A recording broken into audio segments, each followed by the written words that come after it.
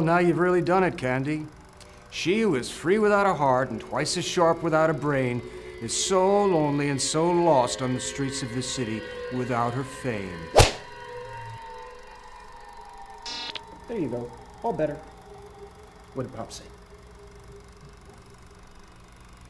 He needed a new face. I see. Well, go ahead, girl. Introduce yourself to the people. My name is.